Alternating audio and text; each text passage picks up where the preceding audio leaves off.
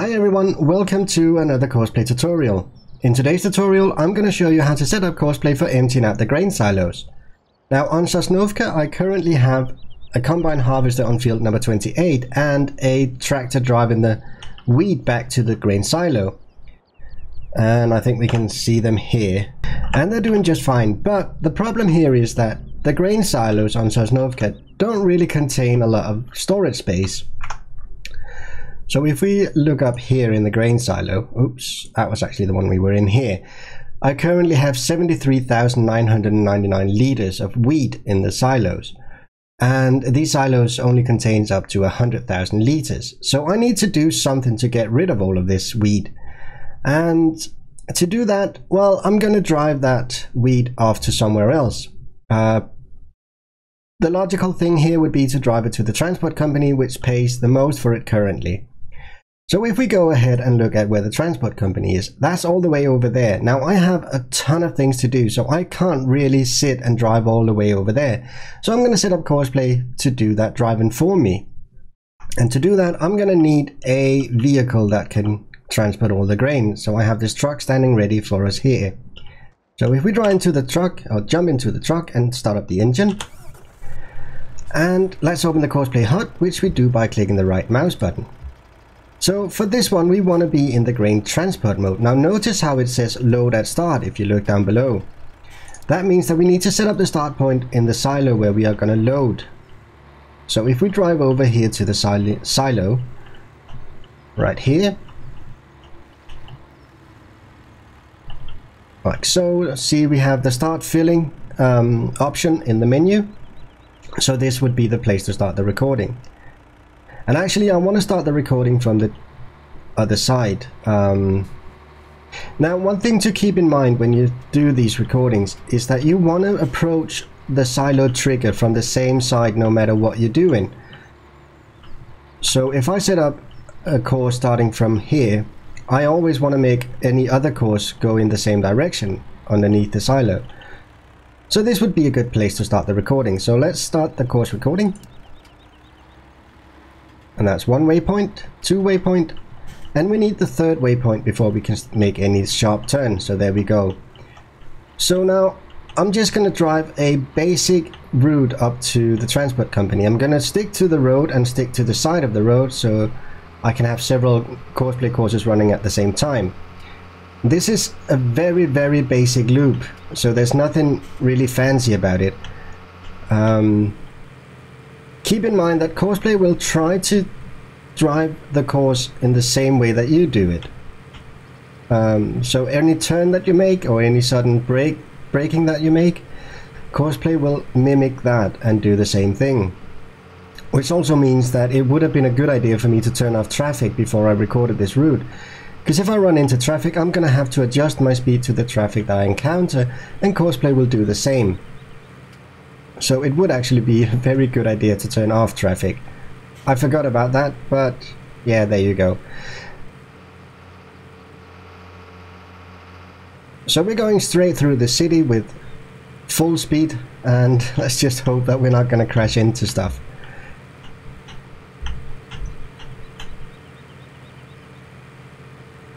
And we have the transport company coming up not too far ahead now.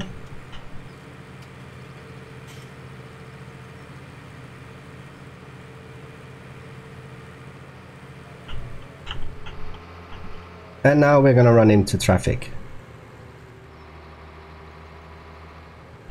So we're gonna have to adjust the speed to the car in front of us. And we can do that simply by driving up to the car and just crash into it and go full speed and then we'll have a constant speed of about 30 kilometers an hour. Now the transport company is coming up to our right here, so it's not really that big of a deal.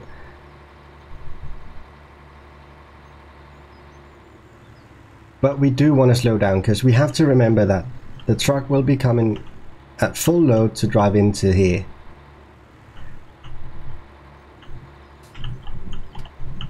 And we're just going to go through the tip trigger. We're not going to set a waypoint or anything. Just through the tip trigger. And I'm just going to pause the recording and turn off traffic for the way back. Um, traffic off. There we go. So there's no need to set a waypoint here. There's no need to do anything just to drive through the trigger. Uh, Courseplay will recognize the trigger and stop on its own. So let's continue the recording. And now we're going to head back to the farm. Keep in mind that Courseplay will try to mimic the exact course that you are recording. Anyway, I'm going to speed up time and I'll see you back at the farm.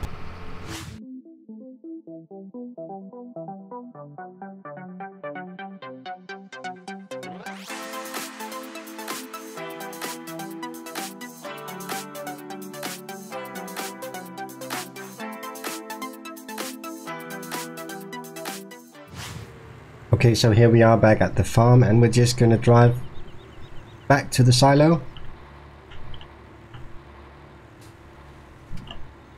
Like so. And we're going to stop the recording just about here.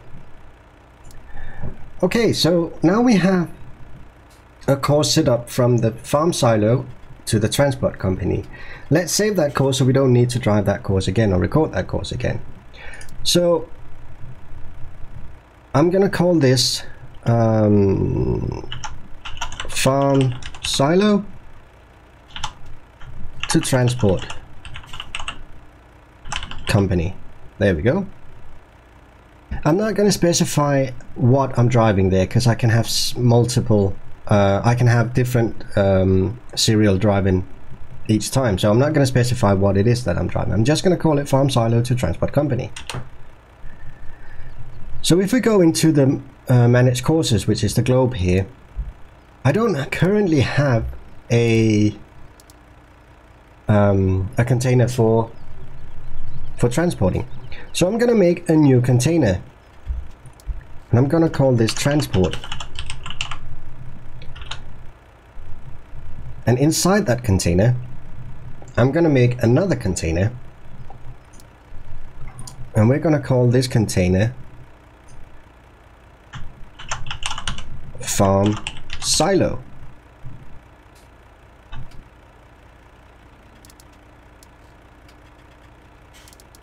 So the farm silo container, we're going to move into the transport container. And then we're going to move this course here, the farm silo to transport company. We're going to move that into the transport container and the farm silo container. So now we can set up several transport courses. We can have a course going from the farm silo to the transport company, which we just set up. We can also have a course going from the farm silo to the grain mill. Um, we can set up several courses if we want to. If we go into the map, we can set up uh, several courses from the farm silo if we wanted to. We can go into the village grain elevator. We can go to the bakery. We can go to, to anywhere we really want to go here and record these um, courses and just store them inside here. Now, when you make your courses try to come up with a system that makes sense to you. This makes sense to me, so so I'm fairly pleased with it.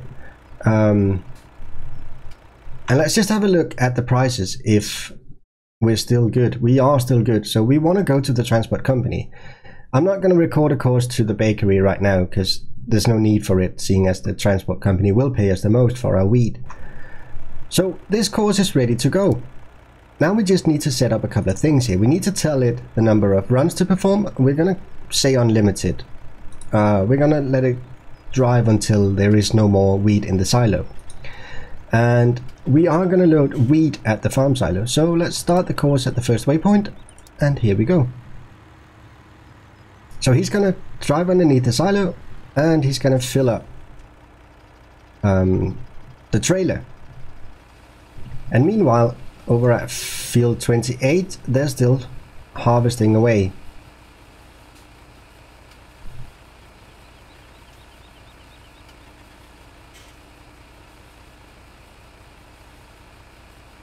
And he's just about ready to go now.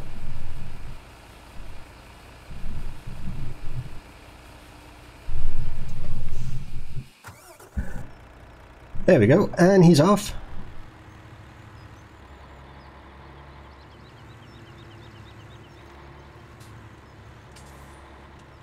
and hopefully he's not going to encounter any traffic. Well, he isn't because I actually turned off traffic. Let's turn that on again so we can see what happens if he actually runs into traffic. There we go, traffic is on and he's driving all the best he can. Oh, it's a she. I tend to hire female workers for some reason, I don't know why. There's nothing sexist about it.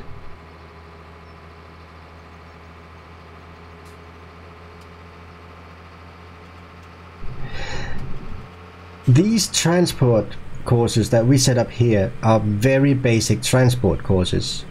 Um, and you can use them for anything. You can use them to set up a course from uh, from here, from the shop, machine shop, back to the farm. So you can have your equipment delivered back to your farm without you having to drive the course.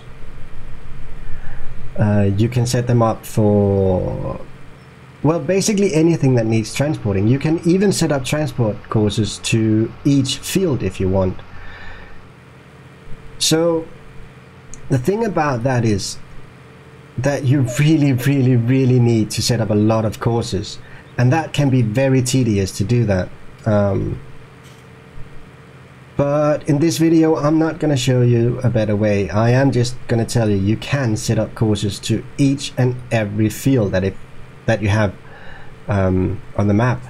There is a better way of doing it, no doubt about that. And and I will be showing you that in another video. Huh, seems like there's missing some water there, doesn't it? And it seems like the harvester, combine harvester, is in traffic. Oh, that's not good. I'm gonna have to correct that. But we'll do that later on.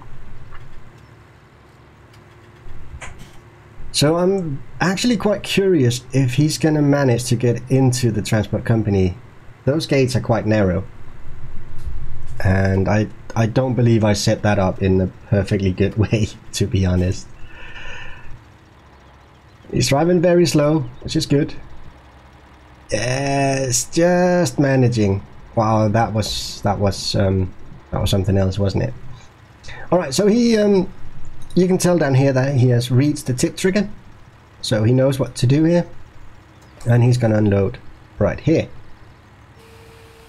There we go. And...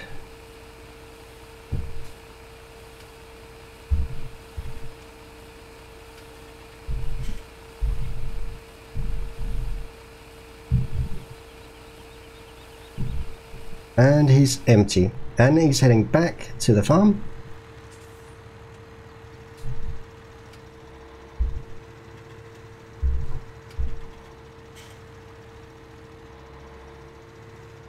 There we go. So I'll speed up time once again and I'll see you back at the farm.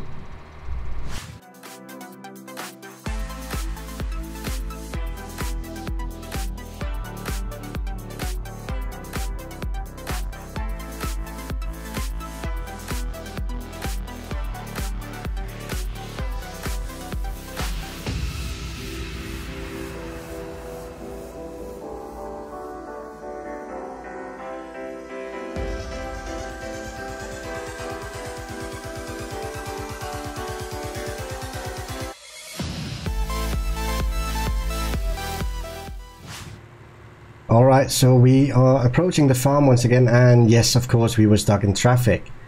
Um, that's something that I don't really understand. The traffic is going so incredibly slow in Farming Simulator. I, I really think Giants needs to uh, needs to address that uh, in some way. I know that it's for the traffic detection to work uh, perfectly, but anyway. Right, we're back at the farm, and we are getting a full load again and he's driving up off to the transport company. Now, meanwhile, while he's doing that, I am gonna go fix the problem with the combine harvester. So let's have a look. Where is it? It's right there. Oh, it's actually because it's done here. Well, that's good. So we don't need to do anything more about that other than stop the driver and we're going to send the tractor home. So he's going to drive back to the farm and unload.